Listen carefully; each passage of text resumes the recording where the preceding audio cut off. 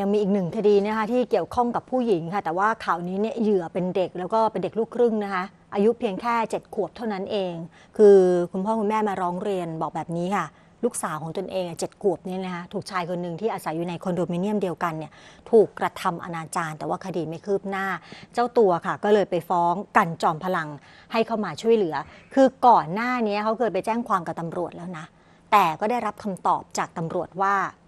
จับได้เมื่อไหร่ ก็เมื่อนั้นค่ะ การจอมพลังนะคะพาเด็กหญิงลูกครึ่งไทยเยอรมันอายุ 7 ปีอะแล้วก็คุณแม่เนี่ยเขาพบกับพันตำรวจเอกนาวินทีรวิทย์ ผู้กำกับการสพเมืองพัทยาเพื่อเร่งรัดคดีนะคะหลังจากที่เด็กหญิงเนี่ยถูกชายคนหนึ่งค่ะ ซึ่งอาศัยอยู่ในคอนโดมิเนียมเดียวกัน กระทำอนาจารเหตุการณ์เกิดช่วงสองทุ่มของวันที่ 28 มกราคมที่ผ่านมานะคะแพทย์เนี่ยได้มีการตรวจร่างกาย แล้วก็พบว่าอวัยวะเพศของเด็กเนี่ย ฉีกขาดค่ะ จึงนำหลักฐานเข้าแจ้งความเพื่อเอาผิดกับนายอภิรักษ์อายุ 46 ปี ผู้ก่อเหตุในวันเดียวกัน แต่จนถึงขณะนี้ค่ะคดีก็ยังไม่มีความคืบหน้า สอบถามไปยังร้อยเวรเจ้าของคดีกลับได้คำตอบเพียงว่า คดีไม่ใช่เหตุซึ่งหน้าจึงไม่สามารถจับกลุ่มได้ ถ้าจับได้เมื่อไหร่ก็เมื่อนั้น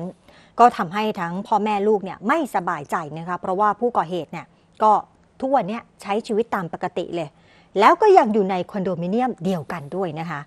ทุกวันนี้ค่ะเมื่อลูกกลับมาจากโรงเรียน พ่อแม่ก็ต้องให้เก็บตัวอยู่แต่ในห้องนอนเลยนะคะ ไม่กล้าปล่อยออกมาวิ่งเล่นด้านนอกมิหนำซ้ำผู้ก่อเหตุเนี่ยยังเดินมาแบบทำลักษณะ ยิ้มเยาะเย้ยใส่ เหมือนกับว่าไม่เกรงกลัวต่อกฎหมายด้วยค่ะก็ใช้ชีวิตแบบระบาดระแวง ตอนนี้คือตั้งแต่เกิดเรื่องมาลูกก็ไม่ได้ออกจากห้องเลยค่ะ ก็ให้เล่นอยู่แต่ในห้องไม่กล้าให้ออกมาก็มีเยาะเย้ยมีอะไรไหมเขาข่มขู่แฟนบอกว่าเขาเดินผ่าน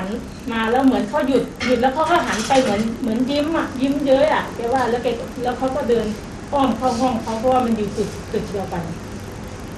แฟนก็เลยเล่าให้ฟังว่า ฉันจำคนไม่ผิดหรอก คนนี้แหละเขาเดินมาแล้วเหมือนเขามายิ้มเย้ยฉันแล้วเขาก็เดินเข้าห้องแกก็พูดไป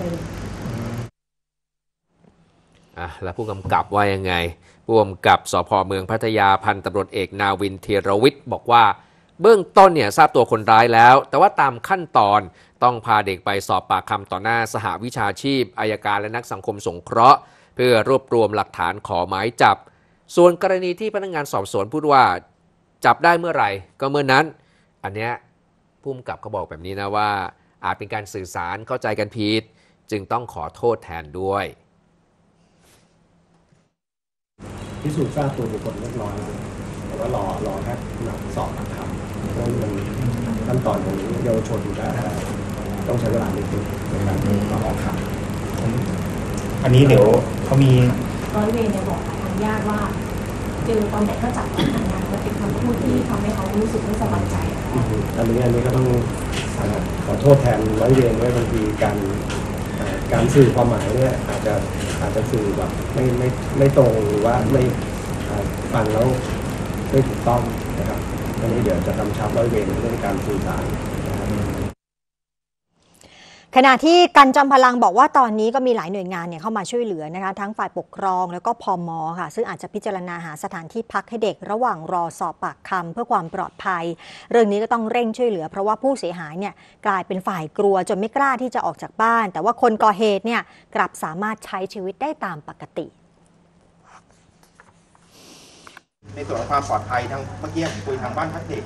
น่ารักมากก็จะเป็น safe house อีกที่หนึ่งเผื่อที่จะให้น้องเนี่ยเข้าไปหลบภัยที่นั่นได้นะครับก็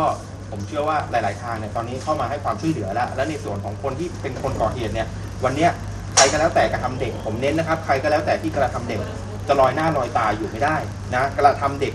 ต้องถูกดำเนินการ แล้วต้องถูกดำเนินการอย่างเร็วที่สุดด้วย เพราะอะไรเนี่ยอย่างทางคุณแม่เนี่ยบอกว่าน้องเนี่ยไม่ได้ออกจากห้องเลย กลายเป็นว่าผู้ถูกกระทำต้องอยู่อย่างหลบหลบซ่อนๆ นะไอ้ผู้ไอ้ผู้ที่กระทำเนี่ยไม่มีความเกรงกลัวเลยเลยนะครับ